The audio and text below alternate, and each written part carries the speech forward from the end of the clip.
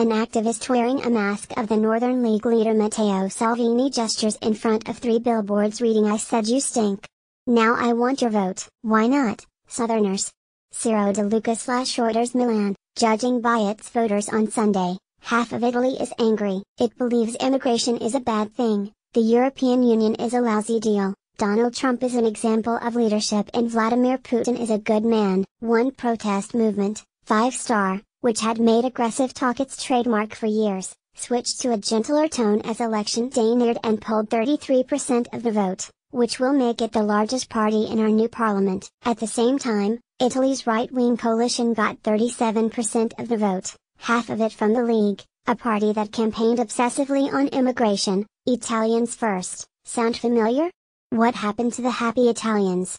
Has La Dolce Vita, the sweet life, turned bitter? For many people, unfortunately, the answer is yes. What happened on March 4 is not unlike what happened in Britain and the United States in 2016, a frustrated major proportion of the electorate vented its anger at being left behind by those they perceive as privileged. First Brexit, then a new president, now a new Italian parliament, all they needed was a national election. Italy took a little longer, but the direction of travel is the same, and so are the vehicles political forces that transform disappointment into votes. Will the League and Five Star join forces and form a government?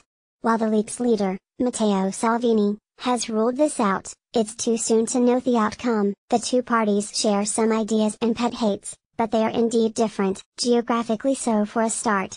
In Italy, changes in latitude bring changes in attitude. Mr. Salvini, 44, is from Milan, and did very well in Italy's affluent north, where voters worry about their safety and taxes. Luigi Di Maio, 31, the five-star leader, is from Avellino, near Naples. He conquered the poorer south, and his movement won 50% of the vote and every first past the post seat in Sicily, where youth unemployment has increased while incomes decreased. The Italian south is indeed in trouble. Italy's economy overall is picking up, at last, but between 2008 and 2016 per capita GDP in the Mezzogiorno, or South, fell 11.3%, in contrast with 5.8% in northern Italy. Today Slovenia, Slovakia and the Czech Republic all have a higher GDP than the Italian South. Youth unemployment?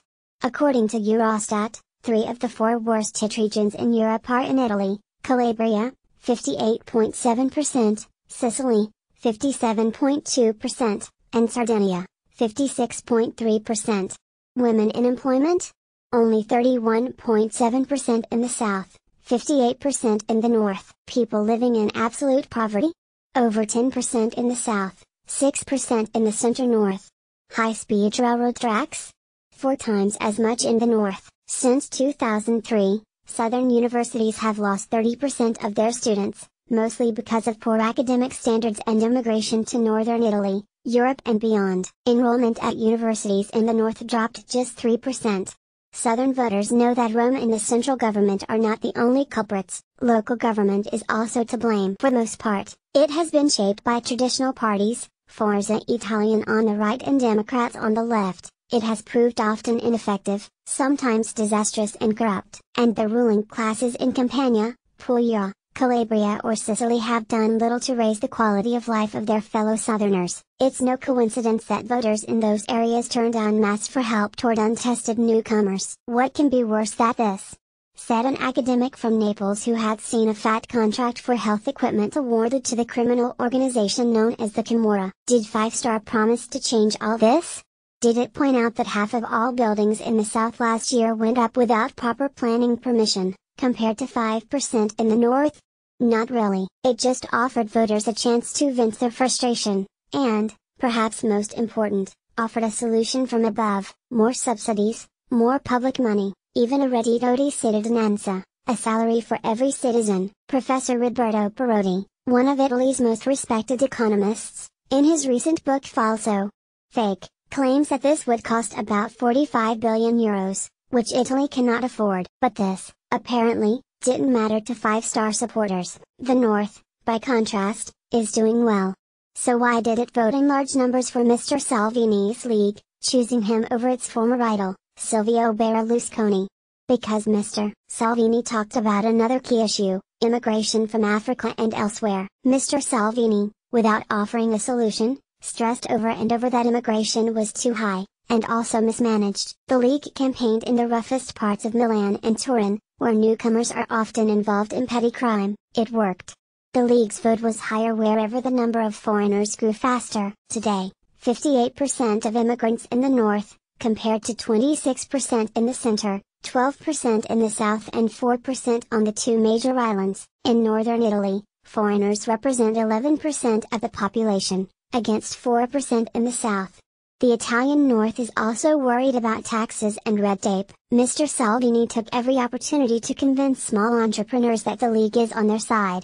During the campaign, he mixed common sense and ludicrous promises. A European rule states that invoices must be settled within 30 days.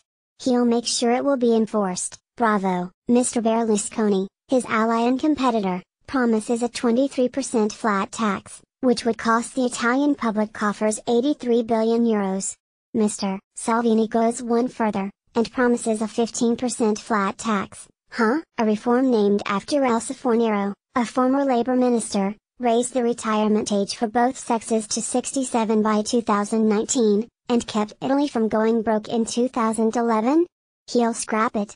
I'm proud to be called a populist, as I like the people. Said an ebullient Mr. Salvini. We achieved a post-ideological result that goes beyond the right-left divide, a euphoric Mr. Di Maio boasted, neither commands a majority in parliament, but they'll try to put it together. One of them, or both, may be asked by President Sergio Mattarella to form the next Italian government. Who will cheer in the end, the North or the South? And for how long?